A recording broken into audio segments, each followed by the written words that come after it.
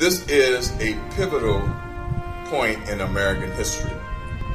And in our 233 years as a constitutional republic, we have had many, many challenges that qualify as pivotal points. The Civil War, the Great Depression, the Civil Rights Movement, 9 11, and now this classic struggle between those who would change our culture into one that glorifies and empowers the state versus what our country is built on, and that is a healthy respect for the primacy of the individual.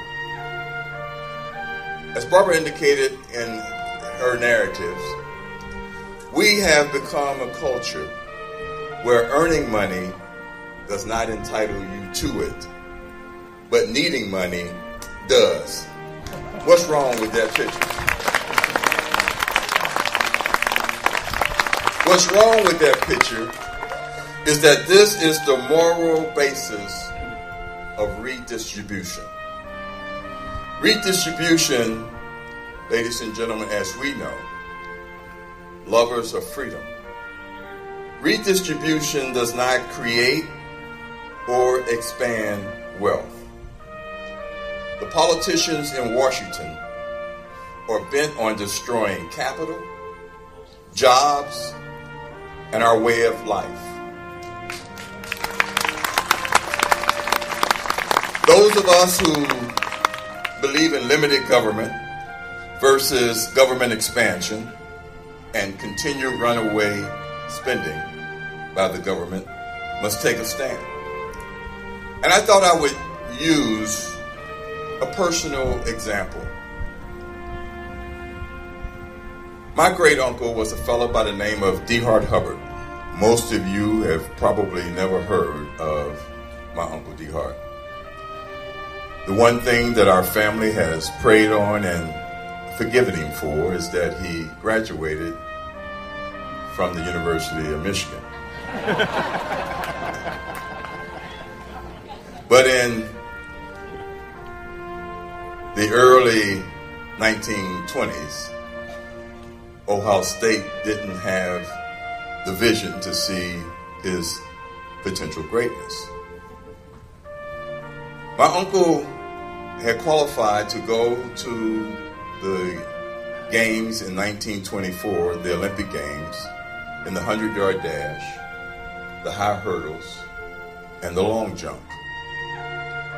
He was very, very intent on showing Eric Liddell from England that he was indeed the fastest human being on the face of the earth. Eric Liddell, being the competitor that he was, was very anxious to prove to my uncle that he was the second fastest human being on the face of the earth. And they were going to meet in Paris. Well, when they got to Paris, the International Olympic Committee told my uncle that although he had qualified in those three events, he could not run in the 100 or the high hurdles. There was still a barrier of race.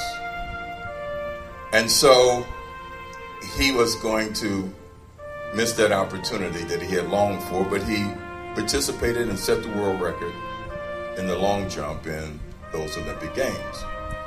As you know, Eric Liddell decided not to run in the finals because the finals had fallen on the Sabbath. And so, one of his colleagues, Abrahams, won the 100 that year. When my uncle came back to Cincinnati, he talked about the great lesson that he had learned. And the lesson that he had learned overshadowed his inability or his, uh, his missed opportunity to run against Liddell. He said what he had learned from Liddell was fidelity to principle and fidelity to faith. He went on, and my uncle did in 1925 and set the world record in the 100. But he, to his death, said that nothing, no medal that he won, nothing compared with the lesson that he had learned about fidelity to principle and fidelity to faith. Ladies and gentlemen, this is more than a mere gathering on a Sunday and pleasant afternoon. At a time when the left is attacking the foundational underpinnings of America and American exceptionalism, those foundational institutions being the family, religion, market economy, and individual liberty, we must rededicate ourselves to being a force and forces, networked forces for freedom. Ladies and gentlemen, the American story over 233 years has been an inspirational story. We have inspired hope all the world over. We have created opportunity through freedom. Lincoln told us that our union was not perfect, but that it was perfectible, which meant that men and women had to engage in order to keep us on the right path. I would suggest to you that, as was the case with all those other pivotal points in history, how we handle this challenge to America, this challenge to freedom and individual liberty, will be the defining challenge in how we characterize America's third century. Fidelity to principle, fidelity to freedom. In John 3, we are told that those who want to do evil love the darkness. We have an opportunity today to relight our candles and to light the candles of the next generation. So that in this moment of darkness, we are forces of light.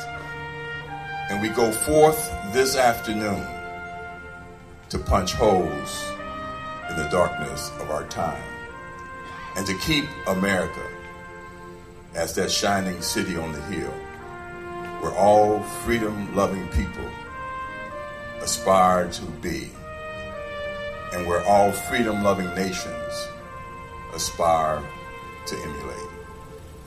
God bless you, and may God continue to bless the America